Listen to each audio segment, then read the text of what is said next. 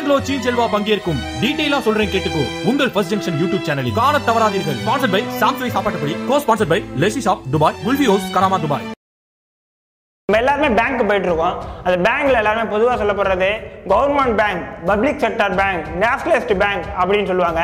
இது மூணுமே ஒன்று அப்படின்னு நமக்கு எல்லாருக்குமே தெரியும். அதாவது நேஷனலிஸ்ட் பேங்கும் பப்ளிக் செக்டர் பேங்கும் ஒன்றா கவர்மெண்ட் பேங்கும் நேஷனலிஸ்ட் பேங்கும் ஒன்றா அப்படிங்கிறத இந்த நிகழ்ச்சியில் நம்ம பார்க்க போகிறோம் இந்த நிகழ்ச்சி பேர் தெரிஞ்சுக்கலாம் வாங்க. நான் உங்கள் ரியாஸ். வாங்க நிகழ்ச்சிக்கு போகலாம்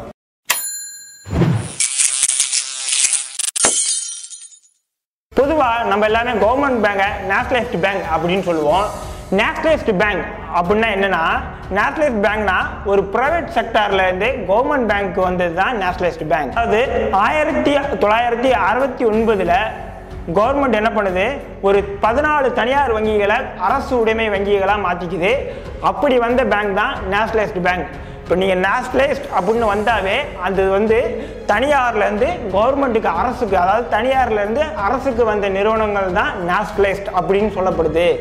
அதே பப்ளிக் செக்டார் பேங்க் அப்படின்னு பார்த்தீங்கன்னா இந்தியாவிலே இரண்டே இரண்டு பப்ளிக் செக்டார் பேங்க் தான் இருக்குது உங்களில் எத்தனை பேருக்கு இது தெரியும்னு எனக்கு தெரியல. இந்தியாவில் இரண்டே இரண்டு பப்ளிக் செக்டார் பேங்க் இருக்குது ஒன்று ஸ்டேட் பேங்க் ஆஃப் இந்தியா ரெண்டாவது IDBI industrial development bank of India இந்த ரெண்டு பேங்க் தான் இந்தியாவிலே அரசு உடைமை வங்கி. அதாவது டைரக்டாக கவர்மெண்டே தொடர்ந்த வங்கி அப்படின்னு பார்த்தீங்கன்னா இந்த இரண்டு வங்கி நிறைய பேர் சொல்லுவாங்க Indian bank government bank Canara bank government bank அதே மாதிரி சென்ட்ரல் பேங்க் கவர்மெண்ட் பேங்க் அந்த மாதிரி சொல்லுவாங்க. இந்த மாதிரி பல வங்கிகள் இருக்குது இதெல்லாம் கவர்மெண்ட் பேங்க் இதெல்லாம் கவர்மெண்ட் பேங்க் தான்.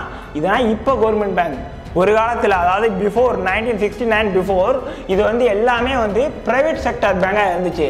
ஒரு ஒரு காலத்தில் அந்த பேங்க் நடத்த முடியாமல் திவாலா போகிற நேரத்தில் அரசு என்ன பண்ணுச்சு? அந்த பேங்க் எல்லாத்தையும் எடுத்து கவர்மெண்ட் பேங்காக ரன் ஆகுது ஸோ வந்து பக்கா அதிகாரப்பூர்வமான அரசு வங்கி அப்படின்னு சொல்ல போனால் state bank of India IDBI இது ரெண்டு தான் பக்கா அதிகாரப்பூர்வமான கவர்மெண்ட் பேங்க் ஸோ எந்தெந்த பேங்கு நேஷனலிஸ்ட் பேங்காக மாறி இருக்கு. அப்படின்னு பார்த்தீங்கன்னா Allahabad bank Andhra bank bank of Baroda bank of India bank of Maharashtra Canara bank central bank of India corporation bank Dena bank Indian bank Indian overseas bank oriental bank of commerce Punjab Punjab national bank Punjab and Sind bank syndicate bank UCO bank union bank of India united bank of India Vijaya bank.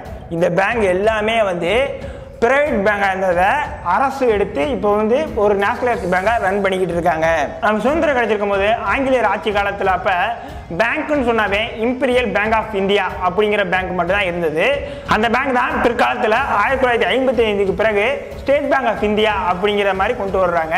So இந்த bank வந்து இந்த இந்த bank வந்து மக்களோட நடைமுறைக்காக மக்கள் பணம் போடுறதுக்கு எடுக்கிறதுக்காக இந்த பேங்க் வந்து வடிவமைக்கப்படுது. அதே நேரத்தில் தொழில்கள் அந்த மாதிரி வளமை தொழில் கடை அந்த இண்டஸ்ட்ரியல் டெவலப்மெண்ட்டுக்காக ஒரு பேங்க் உருவாக்கப்படுது. ஆயிரத்தி தொள்ளாயிரத்தி அறுபத்தி நாலில் ஒரு பேங்க் உருவாக்கப்படுது. அந்த பேங்க் தான் வந்து IDBI bank industrial development bank of India so அதுவும் பியூர் கவர்மெண்ட் பேங்க் ஸோ அது வந்து எப்போ உருவாக்கப்படுறாங்க? ஆயிரத்தி தொள்ளாயிரத்தி அறுபத்தி நாலில் வந்து கவர்மெண்ட் உருவாக்குது. அது பிற்காலத்தில் அதாவது இரண்டாயிரத்தி எட்டுக்கு அப்புறம் ஸோ இண்டஸ்ட்ரியல் இண்டஸ்ட்ரியலுக்கு மட்டும் வேணாம். அந்த சர்வீஸை வந்து மக்களுக்கும் செய்வோம் அப்படிங்கிற மாதிரி ஐடிபிஐ நிறுவனம் வருது. ஸோ இப்போ ஐடிபிஐ நிறுவனம் மக்களுக்கும் சேவை செய்கிற ஒரு நிறுவனமாக இருக்குது.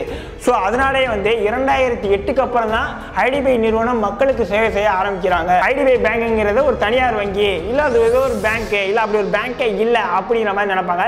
ஸோ ஐடிபிஐ பேங்க் அப்படிங்கிறது ஒரு பியூர் கவர்மெண்ட் பேங்க் நீங்கள் வந்து பேங்கிங்கில் சூஸ் பண்ணுறதுல வந்து இப்போ ஸ்டேட் பேங்க் அப்படின்னு எடுத்தீங்கன்னா நிறையாவே வந்து கவர்மெண்ட் டிரான்சாக்ஷன்ஸ் எல்லாமே ஸ்டேட் பேங்க்கில் இருக்கும். அதாவது வந்து ஒரு கவர்மெண்ட் காலேஜாக இருக்கலாம் ஒரு கவர்மெண்ட் ஸ்கூலாக இருக்கலாம் இல்லை பல அரசு நிறுவனங்களோட பணங்கள் எங்கே வருதுன்னா ஸ்டேட் பேங்க் ஆஃப் இந்தியாவில் தான் போடுவாங்க. மேக்ஸிமம் மெஜாரிட்டியான பணம் வந்து ஸ்டேட் பேங்க் ஆஃப் இந்தியாவில் போடுவாங்க.